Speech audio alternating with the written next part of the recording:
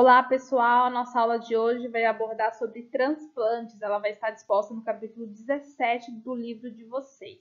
Na aula de hoje, nós vamos falar basicamente sobre a resposta imunológica aos transplantes, como que ocorre o processo de tanto de aceitação do tecido ou de rejeição desse tecido.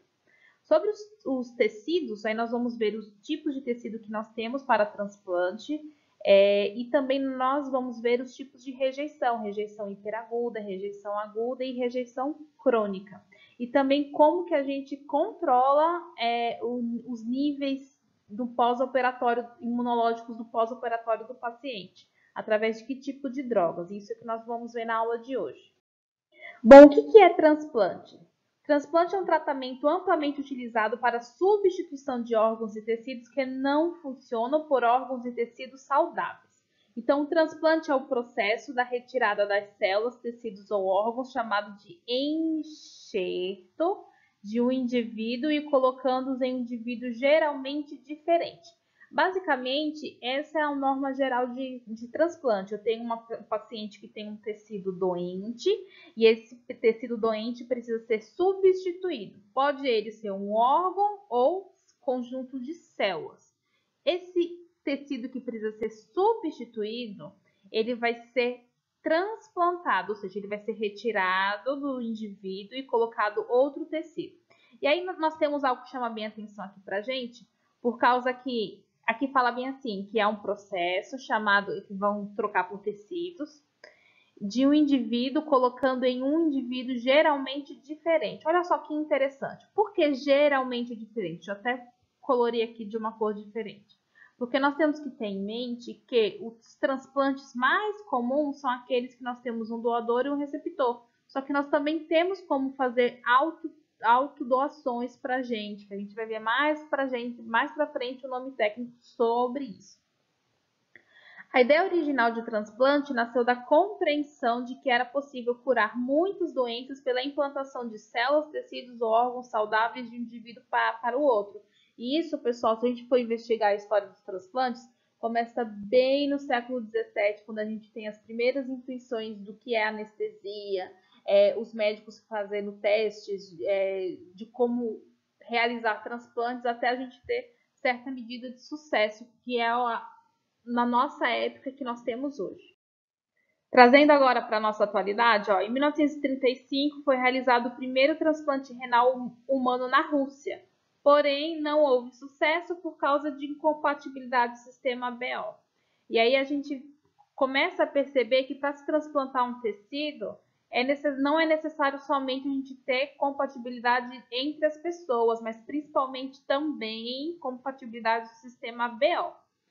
Já que em 1956 nós temos dois casos. Primeiro, o Joseph Murray realiza o primeiro transplante humano de sucesso entre gêmeos, ou seja, gêmeos doaram para gêmeos. E, e, também Donald Thomas realiza o primeiro transplante de medula óssea. Aí nós temos aqui a imagem do Murray e a imagem do Thomas.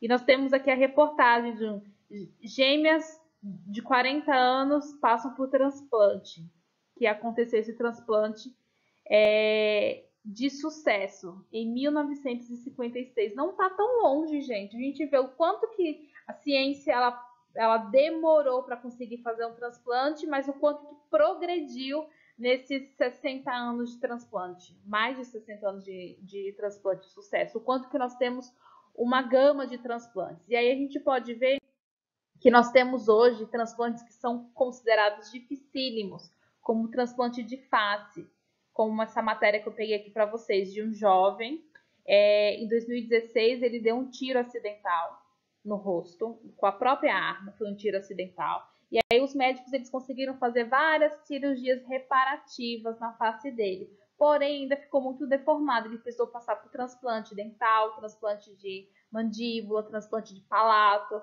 tra transplante de zigomático, porque também houve fratura. E aí ele recebeu uma doação de um homem de 32 anos, que ele infelizmente veio a falecer, mas que era doador de órgãos, e aí transplantou a face para ele, transplantou dentes, ossos e etc. E foi um sucesso. A recuperação desse jovem foi incrível.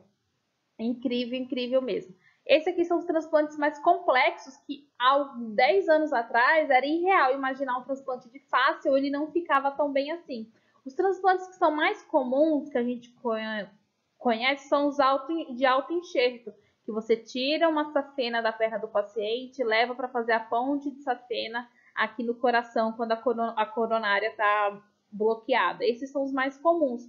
Mas nós temos transplante de córnea, transplante de retina, nós temos transplante de osso, transplante de pele, transplante de tecidos, transplante de medula, transplante de células sanguíneas e etc. Isso é uma realidade hoje é, na, na classe médica bem abundante.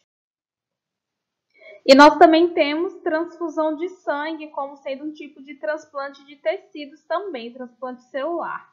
Já que a gente sabe que as células do sangue, o tecido sanguíneo, tem um tecido hematopoético.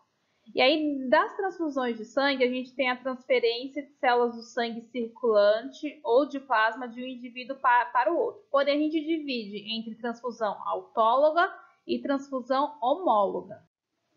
A transfusão autóloga, como o nome já diz, é quando o paciente ele doa para ele mesmo, ou seja, retira-se sangue do, é, da circulação do paciente, seja para armazenamento para futuras é, operações médicas e etc., que ele não quer sangue de outra pessoa, ele, ele se prepara para poder doar sangue para ele mesmo e esse sangue é, é doado para é, reinfundido nele mesmo depois, seja com tratamento ou seja por segurança. E tem a, a, transfusão homóloga, que é quando tenho outra pessoa que doa para outra pessoa. Na minha transfusão autóloga, eu não tenho rejeição, porque o paciente está doando para ele mesmo, então não tem como ter rejeição. Na minha transfusão homóloga, mesmo que haja compatibilidade do sistema ABO, a gente ainda corre o risco de ter um tipo de rejeição aí do tecido, ok, pessoal? E para os transplantes de tecido, nós temos tem, sempre que ter a correlação entre o meu doador e o receptor. Nesse caso aqui, aí nós temos que, a, que analisar o quê? O que, que, que é analisado? Primeiro, o sistema ABO, o sistema ABO-RH, se é compatível, já que nós estamos falando de um tecido que já está que tem que ser compatível o sangue do paciente, embora seja um, um, órgão, uma musculatura, por assim dizer, a depender do tipo de transplante, óbvio, mas a gente tem que ter a compatibilidade sanguínea. Aí nós temos que ter a compatibilidade imune, que aí vai ser o meu sistema do MHC, do MHC, e aí nós temos também ter que ver alguns parâmetros, por exemplo, é, tamanho de órgão, tamanho de tecido. Será que uma pessoa com 1,80m, 100 quilos, consegue doar um coração para uma pessoa de 1,55 pesando 46 quilos? Aí tem que ver o tamanho, se cabe. Não adianta ser compatível e não couber. Tem que caber o órgão dentro do receptor para a gente não poder desperdiçar o, o, o, órgão, porque um órgão poderia ser viável para outra pessoa, a gente desperdiça tentando encaixar ele dentro de outra pessoa, aí, aí não tem como. O doador, ele tem que ser compatível fisicamente também com o receptor, para a gente não ter problemas com o transplante. E aí nós temos vários tipos de enxertos de tecidos para serem transplantados. Quais são as classificações dos transplantes? Primeiro, nós temos o transplante autólogo. Deixa eu mudar aqui de cor para a gente. O transplante autólogo é quando a gente tem um doador igual ao receptor. O que isso significa? Eu vou doar para mim mesma. É, eu vou fazer uma ponte de safena, eu uso a minha safena para fazer essa ponte. O transplante heterólogo é quando nós temos o doador diferente do receptor que que isso, o que, isso significa? Que eu, eu preciso de um rim e alguém doa um rim para mim. Vai ser, vai ser eu que vou doar o mesmo órgão para mim? Não, vai ser outra pessoa que vai fazer exames e é compatível é, esse transplante. Então, eu vou ter um doador diferente de um receptor. Embora nesse caso, nesse primeiro caso aqui, a gente não tem risco de, de rejeição, é totalmente aceito, mas já nesse segundo aqui, a gente já tem o risco de rejeição maior do tecido que vai ser transplantado. Nós temos também o transplante singênico. O que é o transplante singênico, pessoal? É quando nós temos indivíduos da mesma espécie geneticamente idênticos. Então, o que, que a gente tem nesse, nesse transplante cinegênico? Nós temos aqui gêmeos. Transplante halogênico, nós temos indivíduos da, da, mesma espécie geneticamente semelhantes. Aí nós temos o que? É, parentes e etc. Nós temos os xenogênicos, que são indivíduos de espécies diferentes, quando, principalmente animais. E a gente recebe como transplante de, de animais, válvulas cardíacas, é, pele, que a gente usa muito é, pele de peixe para fazer alguns tipos de transplantes, etc. Nós temos o transplante ortotópico, onde eles têm a mesma localização anatômica. São chamados de transplantes ortotópicos. E nós temos transplantes heterotópicos, que são em localização, em localização anatômica diferente da normal. Esses são os tipos de transplantes que nós temos, pessoal. E os tipos de enxerto? Aí nós temos aqui o autoenxerto, quando a gente tira o enxerto de nós mesmos, um tecido para nós mesmos. E os enxerto que nós temos é, o enxerto que vai ser o transplante de gêmeos, de, de, de gêmeos que vão, que vão ser transplantados. Nós temos o aloenxerto, o aloenxerto que vai ser transplantes de indivíduos diferentes, como é, transfusão sanguínea, algum órgão e etc. E o xenoenxerto, que vai ser de espécies diferentes, como válvulas cardíacas bovina, suína e etc. Esses são os tipos de enxerto. Pessoal, que a gente não deve confundir é que quando a gente fala de enxerto, nós estamos falando de tecido. Ah, então qual é o rim? O tecido renal foi transplantado. Nós temos o enxerto. Qual é o tipo de enxerto? E etc. A gente não pode esquecer esses detalhes. Exemplos de autoenxerto, pessoal. Transplante de órgãos ou tecidos procedentes do próprio indivíduo. Não desenvolve reações, ou seja, a gente não tem rejeição dele. É autólogo o, o, o transplante, porque você doa de você para você mesmo. Exemplos: ponte safena, mamária, enxerto de pele e também medula óssea. A gente consegue fazer isso. Aí nós temos o que, gente? Enxerto, exemplo aqui de enxerto de pele a gente tira a pele de uma região, trata essa pele e devolve ela para outra região precisa. E também o da ponte safena que a gente já comentou, que a gente tira essa fena do paciente ou a mamária, a depender, e coloca aqui na coronária para fazer uma ligação para poder irrigar a musculatura. Isoenxerto. O que, que são os isoenxertos? Transplante de órgãos ou tecidos entre indivíduos geneticamente idênticos, gêmeos, é um transplante cinegênico, porque nós estamos falando de pessoas geneticamente é, iguais, diferentes, ó, iguais. Não há desenvolvimento de resposta também, a gente não tem rejeição do tecido, só que tem que ser geneticamente idêntico. Olha só, eu peguei essa foto aqui porque eu achei interessante, porque são gêmeas idênticas que tiveram filhas, cada uma teve uma filha. Aí olha só que interessante, as mães são gêmeas idênticas. Porém, as crianças não podem ser consideradas por causa que a gente tem o quê? O pai diferente, aí não tem como ser, ser considerado idênticos. Então, nesse caso aqui, nós estamos falando de somente gêmeos idênticos. Nós temos também os aloenxertos, que são transplantes entre indivíduos da mesma espécie, porém geneticamente diferentes, que é o que a gente mais conhece. É um transplante heterólogo, ou seja, você tem pessoas diferentes doando para pessoas diferentes. O, enxerto é rejeitado. Nós temos índice de, transplante, de, de transplantes desse tipo sendo rejeitados muito altos. E a grande maioria dos transplantes, por quê? Porque, principalmente de tecidos. Aqui, ó, olha que exemplo legal. É um coração de pessoas brancas, pretas ou amarelas, é, asiáticas, indígenas seja o que for. a musculatura é a mesma, não tem distinção. Então a gente consegue doar de uma raça para outra dentro da mesma espécie, seja ela branca, amarela é, ou preta. A gente consegue fazer essa doação. O nome disso se chama aloenxerto e nós estamos falando de um transplante heterólogo.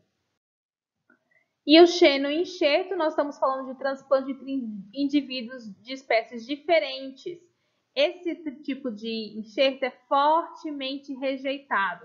O suprimento de órgãos é muito menor do que a demanda e o interesse em transplantar órgãos de outros mamíferos em seres humanos. O que isso significa para a gente? Que, é, como hoje a nossa demanda de órgãos, de doadores para receptores é bem diferente, nós temos menos doadores e mais receptores, ou seja, mais pessoas precisando de tecidos e menos pessoas para doar. Porque quando a gente fala de transplantes, principalmente heterólogos, nós estamos falando de órgãos vitais, pulmão, coração, fígado, em que, embora o fígado a gente pode dividir a doação a um transplante em lóbulos pequenos para poder ser transplantados, mas às vezes a pessoa necessita de, um, de uma porção maior. E aí nós precisamos de doadores mortos para poder fazer esse tipo de doação. E nem sempre isso é viável, porque tem que ter todos os, os procedimentos para morte encefálica para poder fazer a doação de tecido. Então, se tem recorrido o quê? ao xeno-enxerto ou xenotransplante, que é você pegar tecido de uma espécie diferente, como um animal, seja um porco, um gado, um suíno, um coelho, ou então peixe aqui para enxerto de pele, e aí você faz o que? Você transplanta, e é estudado não só é, porções para se fazer válvulas cardíacas e etc., mas também como já se é estudado para se fazer transplante de órgãos mais, mais é, mais relevantes ou mais importantes para a manutenção de saúde do indivíduo vivo. E aí nós temos um mecanismo que pode levar uma pessoa a ter um órgão rejeitado. O transplante de células ou tecidos em indivíduos para um indivíduo geneticamente não idêntico leva invariavelmente à rejeição do transplante devido a uma resposta imunológica adaptativa. E aí nós temos o que? Uma rejeição imune, que é a barreira para o transplante. Nós temos um modelo para estudar a ativação de linfócitos e também reconhecimento de aloantígenos, que são genes polimórficos. Então, o que, que acontece, pessoal? Quando se você se transplanta, quando se transplanta tecidos de uma pessoa diferente, geneticamente diferente para outra, nós temos a rejeição. Esse tecido vai ser rejeitado. Então, como que ocorre o processo de rejeição de um órgão? O que, que está envolvido? não é só o sistema BORH, mas se nós estamos falando de uma resposta imunológica que faz ter essa rejeição que nós vamos ver agora. Como que ocorre isso? Aí nós temos, pessoal, a base genética de rejeição de enxertos. Aí nós temos aqui dois tipos de doadores. Nós temos um doador de linhagem A e um doador de linhagem B. O que, que tem de diferente nesses doadores? O sítio de MHC, MHCB e MHCA. Esses são as diferenças de linhagem. O que acontece? O meu doador, vamos aqui para o primeiro exemplo. Deixa eu mudar de cor, com roxo. O meu doador aqui da linhagem A, ele faz enxerto de pele. Ele vai doar esse enxerto para ele mesmo, para outro doador da linhagem A, seja para ele mesmo ou para ou seja um enxerto cinegênico, singênico, que é para indivíduos da mesma espécie geneticamente idênticos, como gêmeos. Aí ele doa esse tecido. Doa o tecido, houve rejeição de enxerto? Não, não houve rejeição de enxerto, porque nós temos a mesma linhagem do receptor de MHC para o doador, é a mesma linhagem. Agora, esse outro exemplo aqui, vamos colocar aqui de amarelo. Nós temos aqui a, o doador da linhagem B, do MHCB. Ele vai doar o enxerto de pele para o da linhagem A. Esse enxerto halogênico, ele pode ser completamente rejeitado. Por quê? Porque nós temos, eles são indivíduos geneticamente diferentes. Aí não tem como a gente ter uma, uma uma adaptação segura desse enxerto. Aí nós temos outro tipo da, da doação, da, do transplante de tecido. Tem o meu doador da linhagem B, aqui o meu MHCB. Ele vai doar o tecido para o receptor que tem tanto genes da linhagem B como da linhagem A. Ele vai doar esse tecido. Houve rejeição? Não, não houve rejeição, porque enxerto de pai cinegênico não é rejeitado por um por um filho híbrido que contém os dois tipos de enxertos. Aí eu não tenho reenxerto porque nós temos partes genéticas idênticas aqui do doador para o receptor. E aí, quando nós temos um doador diferente, que ele já é híbrido, o doador, o MHC já é compatível híbrido, tanto A, tanto B. Aí ele vai doar um, um, um tecido enxerto para o receptor de uma linhagem A, de uma linhagem específica. Tem enxerto? Tem, porque você não está doando somente da linhagem sua específica, mas também de outra linhagem. Enxertos de, de é, doadores híbridos é rejeitado pelos pais singênicos. É isso que acontece. Então, a classificação genética de rejeição do enxerto é quando eu tenho é, diferentes linhagens genéticas de sítio de MHC para ser transplantados os órgãos ou os tecidos. A rejeição, gente, é mediada pelos meus linfócitos T e vamos ter a, a, a, participação do MHC, como a gente já falou. Nós temos o que? Pessoas com MHC idêntico, houve a rejeição? Não, houve a tolerância do, do enxerto doado. Pessoas que doam para pessoas diferentes, é, geneticamente diferentes, aí nós temos um índice de rejeição maior.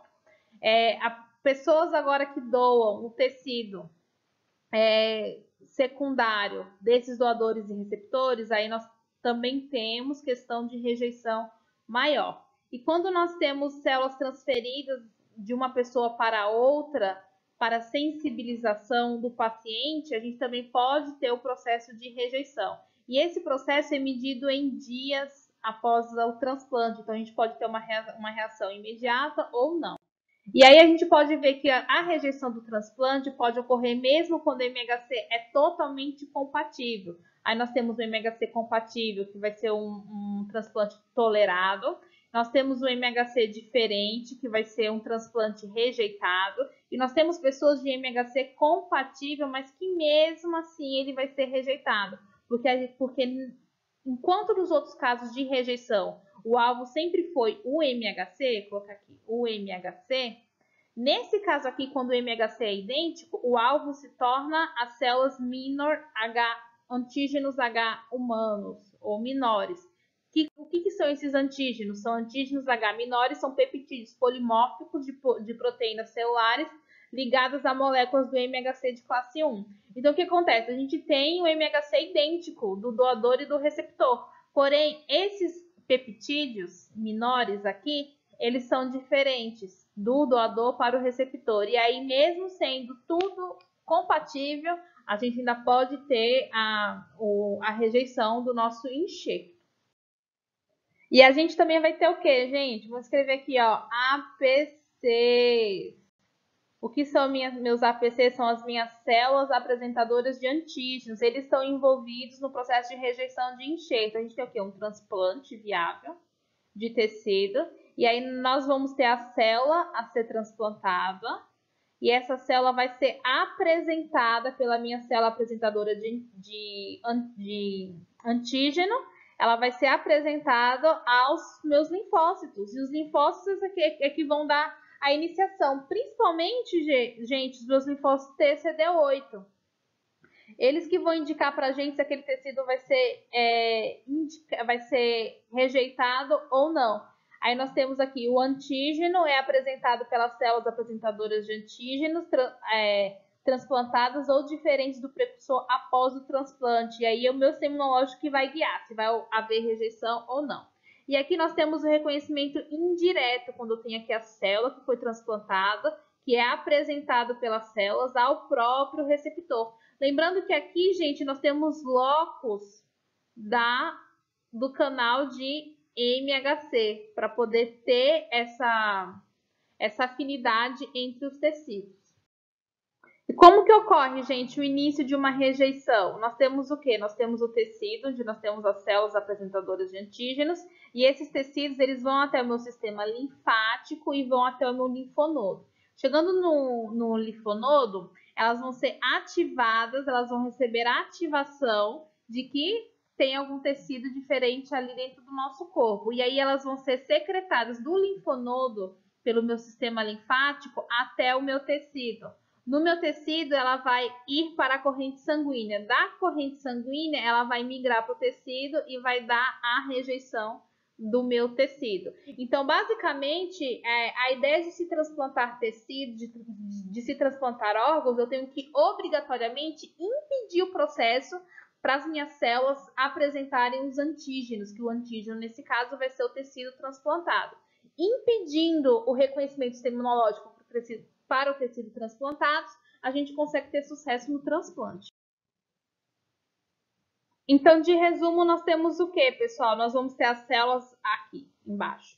Nós vamos ter as células apresentadoras de antígenos, que vão apresentar aos antígenos as minhas células TCD8. O TCD8 vai ativar o MHC, a via 1 do MHC, onde nós vamos ter a expansão clonal da, das minhas células.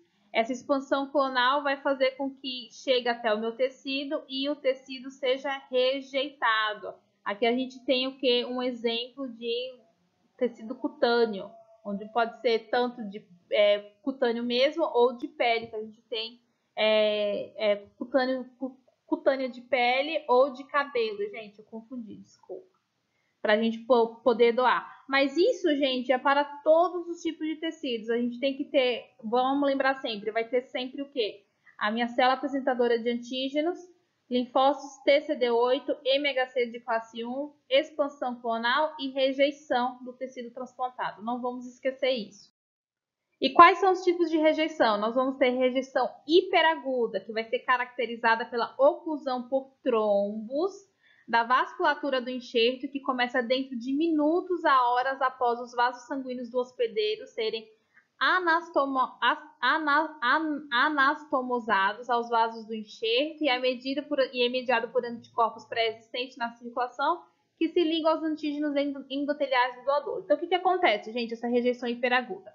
a gente doa o órgão para o, o transplantado, o, o, do, o, receptor.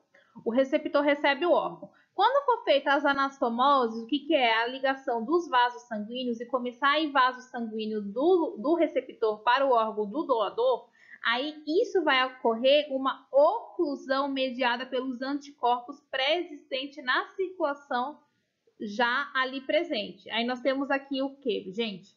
Nós temos aqui o tecido, os anticorpos pré-existentes na circulação.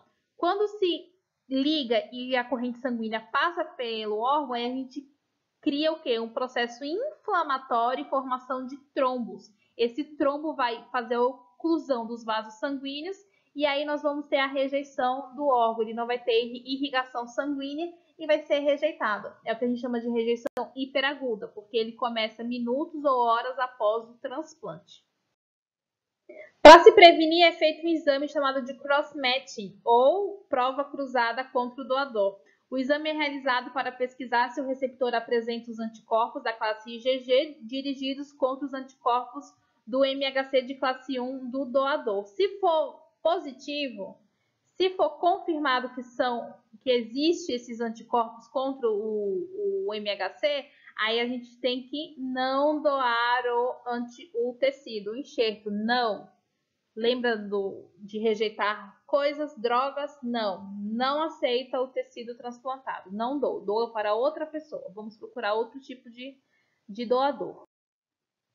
Rejeição aguda. A rejeição aguda é um processo de lesão do parênquima dos vasos sanguíneos do enxerto à medida que as células T, mediada por células T e anticorpos. Primeiros seis meses após a inserção do enxerto, a gente já consegue ter é, a, a aparecer que há uma rejeição aguda.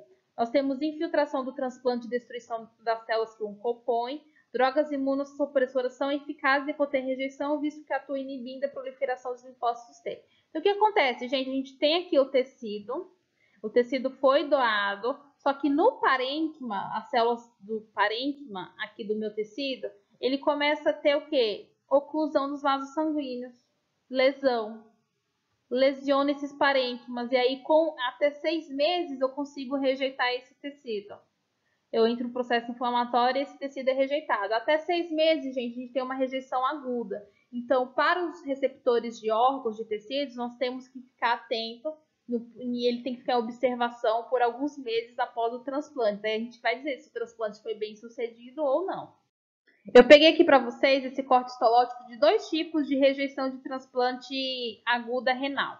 Nesse primeiro aqui, está escrito aqui, turbulítica, infiltração de linfócitos através da membrana basal dos tubos, alojando-se abaixo ou entre as células epiteliais tubulares. E aqui, gente, nós temos linfócitos no tecido enxertado. presença desses linfócitos aqui. Isso aqui, não, essas células não têm que estar aqui, então isso causa é, processo de rejeição. E nós temos também a arterite intimal, que vai ser a infiltração de linfócitos através do endotélio em direção à íntima do, do tecido. O edema da íntima e ativação de células endoteliais. Aqui, gente. Aqui, bem aqui, a gente consegue ver o que, que acontece? Quando eu tenho linfócitos em tecidos do parênquima que não é para ter, então isso é um processo inflamatório. Se eu tenho um processo inflamatório, eu tenho reações muito agressivas no, tecido. E a gente já está falando de um lugar sensível, que não tem que ter. E aí a gente tem a rejeição, o quadro de rejeição aguda do órgão transplantado. E a rejeição crônica, pessoal, que é com os anos, o tempo, nós temos o quê? Função do tecido transplantado sendo perdida e aí pode causar fibrose, hipertrofia, no coração, doença é, coronariana, nos rins, fibrose intersticial, intersticial, no fígado, a destruição do epitélio biliar, e a etiologia não é muito claro e não há um tratamento padrão quando é crônica, a gente tem que trocar o órgão. Aí nós temos o que? O, o tecido transplantado, e esse tecido transplantado, olha só como ele muda ele não consegue ser mais elástico, ele fica fibroso ou hipertrófico, ou seja, começa a perder função. E também nós temos o que? Indução de processo inflamatório. É uma reação crônica, isso causa oclusão do vaso sanguíneo e eu também tenho perca de função daquele tecido. E aqui tu, tudo junto para a gente ver, pessoal. Nós temos o que? Rejeição hiperaguda, onde nós temos mediados por anticorpos onde nós desenvolvemos os trombos e processo inflamatório, que pode durar de minutos, a, pode acontecer de minutos a horas após o transplante. Nós vamos ter a rejeição aguda, que pode acontecer em até seis meses, onde nós temos é, lesão do parênquima, das células dos parenquimais, onde nós temos essa lesão que vai gerar uma endotelialite, ou seja, uma inflamação do endotélio, onde a gente tem o que? Uma rejeição.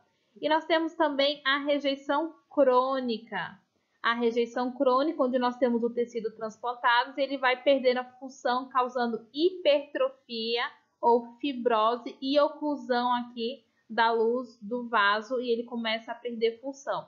É uma reação inflamatória crônica na parede do vaso, é a proliferação de células musculares e a oclusão do vaso vai ocorrer esse tipo de rejeição. Para a gente lembrar, os tipos de rejeição hiperaguda ocorrem em minutos, em horas a causa. Nós temos anticorpos e sistema complemento na causa.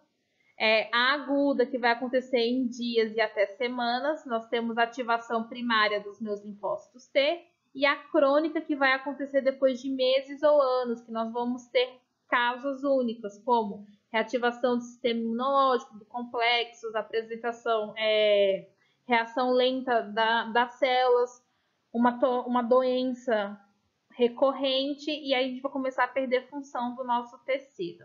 E aí, para a gente falar como se trata enxertos que foram transplantados, bom, primeiro, na rejeição crônica, pessoal, na rejeição crônica, a gente não tem tratamento, a gente tem a troca do tecido. Então, ah, o coração rejeitou depois de, de três anos, vamos trocar o coração. Ah, o rim ele foi rejeitado depois de 10 anos, vamos trocar o, o rim do paciente. Então, a gente não tem tratamento. Já a minha rejeição aguda, nós temos prevenção por imunossupressores que vai acontecer o quê? Os imunossupressores vão prevenir a rejeição do transplante, inibindo a função ou promovendo a morte dos meus linfócitos T, para a gente ter isso. Por isso que a gente fala que pacientes transplantados são pacientes imunossuprimidos ou, imuno, ou imunodeprimidos. A gente estimula farmacologicamente a imunodepressão do sistema imunológico dele para não haver rejeição. E aí nós temos um paciente que não vai ter o órgão rejeitado, porém nós vamos ter um paciente mais suscetível a doenças oportunistas, que aí a gente tem que ficar de olho em controle para ele.